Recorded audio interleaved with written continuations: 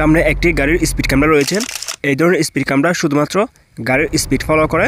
এই ধরনের speed camera বিশেষ করে এই ধরনের যে ছোটো ক্যামেরাগুলো রয়েছে, এই ক্যামেরাগুলো ড্রাইভার কীভাবে গাড়ি চালাচ্ছে সিট বেল্ট পড়েছে কিনা কিংবা গাড়ি চালানোর সময় মোবাইল ব্যবহার করতেছে কিনা সেটা ফলো করে না।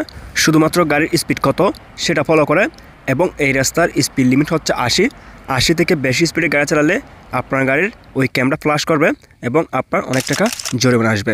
আপনি কীভাবে বুঝবেন এই ধরনের গাড়ির ক্যামেরা কোন রাস্তায় থাকে? সাধারণত যে দেশগুলো উন্নত হয়ে থাকে, ওই দেশে বেশিরভাগ রাস্তায় বিভিন্ন ধরনের ক্যামেরা বসানো থাকে। আপনারা যে রাস্তাগুলো দেখতে পাচ্ছেন, এগুলো হচ্ছে সৌদি আরবে। Saudi Arab, Dubai, Kuwait, Qatar, Oman Bahrain যে আরব রাষ্ট্রগুলো রয়েছে, এই আরব রাষ্ট্রগুলোতে রাস্তার সবখানে প্রায় বিভিন্ন ধরনের গাড়ির ক্যামেরা রয়েছে। এই ধরনের ক্যামেরা মূলত যে রাস্তাগুলোতে অনেক বেশি গাড়ি চলে, এই ধরনের রাস্তায় বেশি থাকে। যে রাস্তায় ক্যামেরা থাকবে, ওইখানে আপনি বুঝতে পারবেন রাস্তার পাশে ওই রাস্তার স্পিড লিমিট দিয়ে থাকে। যে রাস্তাগুলোতে রাস্তার পাশে স্পিড লিমিটের সাইনবোর্ড দিয়ে থাকে, তাহলে আপনি বুঝতে পারবেন ওই স্পিড থেকে যদি আপনি বেশি স্পিডে গাড়ি চালান, তাহলে আপনার গাড়িতে ফাইন আসতে পারেন। এই ফাইনটা ওই রাস্তায় যে কোনো জায়গাতে ক্যামেরা থাকতে পারেন ক্যামেরা আপনার গাড়ি ফোকাস করবে এবং আপনার গাড়ির ছবি তুলে নেবে, যদি আপনি ওভার স্পিডে গাড়ি চালান। রাস্তায় যে বিভিন্ন ধরনের ক্যামেরা রয়েছে, এই ক্যামেরাগুলোর তিনটা জিনিস বেশি ফলো করে থাকে। একটা হচ্ছে গাড়ির স্পিড দুইটা হচ্ছে ড্রাইভার সিট বেল্ট পড়েছে কিনা। তিন নম্বর হচ্ছে গাড়ি চালানোর সময় ড্রাইভার মোবাইলে কথা বলতেছে কিনা। আপনি যখন গাড়ি চালাবেন, এই তিনটা বিষয় অবশ্যই ফলো করে গাড়ি চালাবেন। সেক্ষেত্রে তাহলে আপনার কোনো ফাইন আসবে না। আর আপনি যদি গাড়ি চালানোর সময় ওভার স্পিডে গাড়ি চালান কিংবা গাড়ি চালানোর সময় যদি মোবাইলে কথা বলেন অথবা সিট বেল্ট না পরে গাড়ি চালান, তাহলে আপনার যে কোনো সময় আপনার গাড়িতে ফাইন আসতে পারেন আপনাদের হয়তো আরেকটি বসে থাকতে পারে যে রাস্তাগুলোতে স্পিড ক্যামেরা রয়েছে। ওইখানে যদি ড্রাইভার সিট বেল্ট পরে গাড়ি চালায়, তাহলে ড্রাইভারের কোনো ফাইন আসবে না।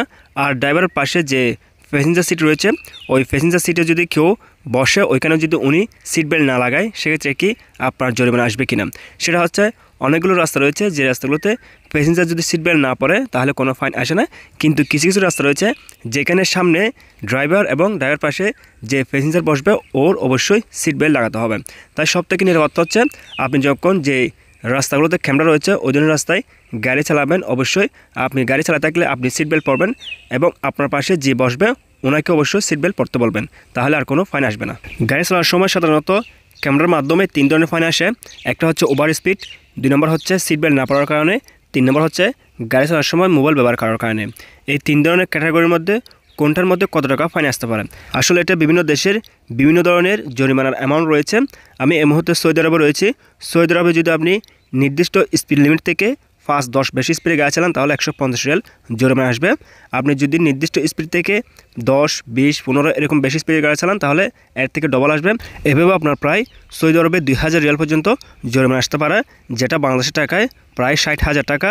আর সর্বপ্রথম যে একশো পঞ্চাশ রিয়াল জরিমানা আসে, ওটা প্রায় বাংলাদেশের চার হাজার পাঁচশো টাকা মতো এবং আপনি যদি গাড়ি চালানোর সময় সিট বেল্ট না পড়েন তাহলে তিনশো থেকে পাঁচশো রিয়াল পর্যন্ত জরিমানা আসতে পারেন। আর আপনি যদি গাড়ি চালানোর সময় মোবাইলে কথা বলেন, তাহলে পাঁচশো থেকে এক হাজার রিয়াল পর্যন্ত জরিমানা আসতে পারে। এই জরিমানাটা আপনি কীভাবে জমা করবেন? সেটা হচ্ছে ক্যামেরার মাধ্যমে যদি কখনও আপনার গাড়িতে জরিমানা আসে, ওই জরিমানাটা আসবে। গাড়িটির যার নামে রেজিস্ট্রেশন রয়েছে। ওনার, ওনাকে জরিমানাটা জমা করতে হবে। আপনার নামে যদি কোনো গাড়ি না থাকে, সেক্ষেত্রে আপনার কোনো জরিমানা আসবে না। আর যদি ওই গাড়িটা আপনার নামে থাকে, তাহলে টাকাটা আপনারা জমা করতে হবে। সাধারণত বিদেশে দেখা যায়, বেশিরভাগ গাড়ি কপিলের নামে থাকে, সেক্ষেত্রে কপিলের জরিমানাটা আসবে। ওই সময় যদি আপনার ভুল হয়ে থাকে, আপনাকে কপিলকে টাকা দিতে হবে, কপিল ওই জরিমানাটা জমা করবে। আর যদি পুলিশ আপনাকে সিগন্যাল দিয়ে আপনার ভুলের কারণে আপনাকে যদি জরিমানা করে থাকে, সেক্ষেত্রে ড্রাইভিং লাইসেন্স আর ইকামাতে জরিমানা করতে পারবে।